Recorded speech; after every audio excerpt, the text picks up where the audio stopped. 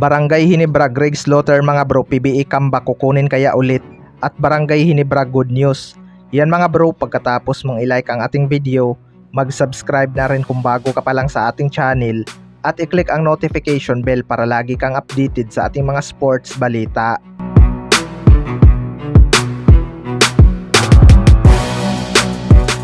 So makakalaban nga ng Barangay Hinebra ang isang powerhouse team na SMB mga bro. Galing nga sa isang massive win itong Barangay Hinebra matapos nilang talunin ang Magnolia Hatchet sa Manila Clasico. Liamado nga itong Barangay Hinebra sa match-up na to pero hindi naman siguro sila basta-basta magpapatalo. Good news nga mga bro dahil may chance nga mag-step up itong kanilang mga players lalo na ang kanilang second unit. Pagkakataon na nga din ito ni Bunpi Sumal mag-step up mga bro dahil maraming ang shooter ang SMB at nagbabalik na rin ang kanilang best point guard na si Terence Romeo. May depensa nga itong si Bunpi Sumal na pwedeng itapat dito kay Terence Romeo pero panigurado mahihirapan ito. Expected ding mabibigyan ng mahabang minuto itong si Sydney Onuberi mga bro. Grabing hassle nga ang pinakita nito noong Manila Clasico kaya marami talagang napabilib sa kanyang performance. Ang magiging problema lang ay kung mahaba ang kanyang playing time, mababawasan naman ang playing time ni Sistan dahil magkaposisyon nga sila. Kung aakyat naman sa 4 itong si Sidney Onoberi, may Japit Aguilar din. Sa kabilang banda naman mga bro, Greg Slaughter, PBE comeback kukunin kaya ulit.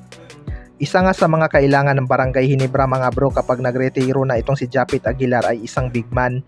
Matunog nga na kukunin ulit nila ang serbisyo nitong si Greg Slaughter.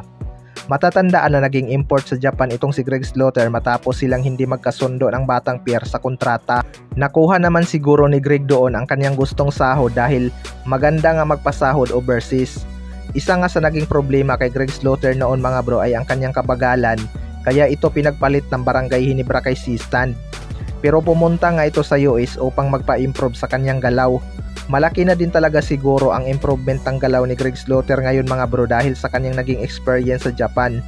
Pero sa ngayon nga mga bro ay 35 years old na itong si Greg Slaughter. Kaya mapapaisip na din siguro ang barangay Hinebra kung kuhanin ulit nila ito. Sayang talaga dahil magandang pangtapat nga ito kay John Mar Pajardo kapag Philippine Cup. Concern lang talaga ngayon ang kanyang galaw. Kung noong bata pa ito ay mabagal na, ano pa kaya ngayon na nagkakaedad na? 'Di ba? Kaya malaking sugal talaga sa Barangay Hinebra kapag kinuha ulit nila ang serbisyo ni Greg Slaughter. Pero sa tingin ko mga bro magagamit pa rin naman siya dahil si Junmar Pajardo ay hindi rin naman ganun kabilis. Nasa sistema na talaga yan kung paano nila gamitin ang mababagal na player. Kayo mga bro, ano masasabi nyo tungkol dito?